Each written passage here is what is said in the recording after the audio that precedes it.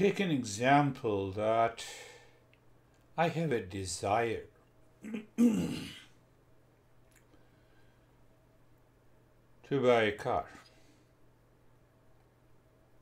So, from where that desire comes, if I don't have a proper and the right knowledge, that knowledge triggers the mind.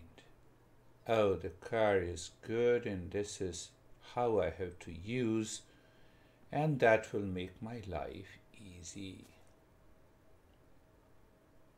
So, the knowledge is first.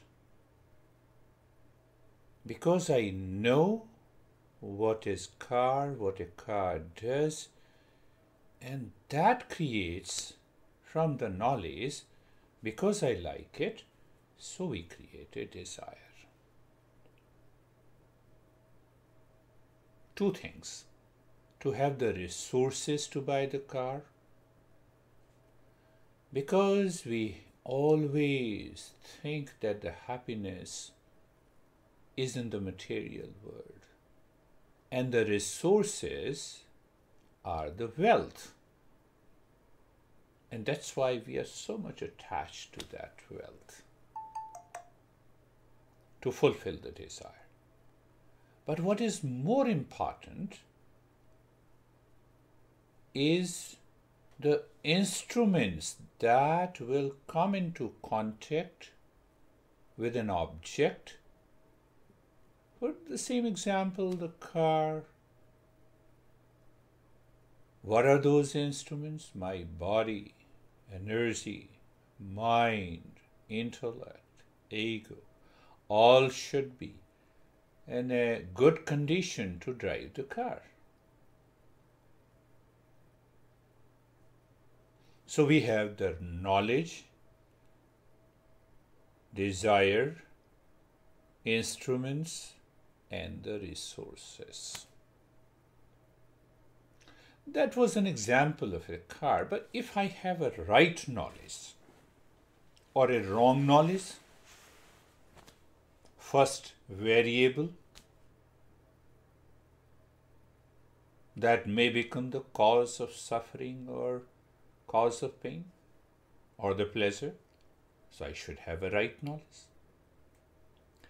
And then I should reflect on is it right desire or a wrong desire? Depending not only in life, but also based on the equipments that I'm using the body, the mind, the intellect, and the ego.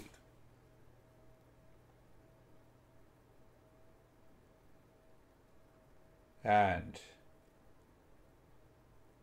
so we have the right knowledge. So when you have the right knowledge, and then the mind says, I have this desire, examine that before fulfilling it. Examine with reference to the equipments, the body, mind, etc. Are they capable of using it? to fulfilling that desire or not, there will be no need to have attention. So, right knowledge, then we have a desire, check it. Is it right desire with reference to the equipments, with reference to my need, and also with reference to the pleasure? So, once we have a right knowledge, right desire, and then we go for a right action. An action is to be done by the instruments, whether it's the body, the mind, the intellect, and ego. All these equipments are used in every fulfillment of desire. Maybe the role of these equipments are less or more quantitatively, but they all are used.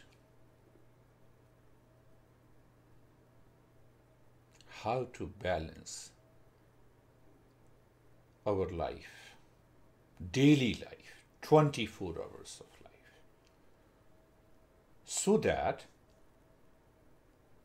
we do not experience any stress and suffering.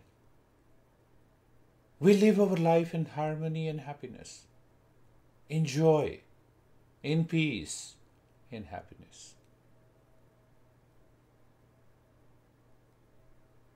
And at the same time, we continue our journey of self discovery for awakening and realization.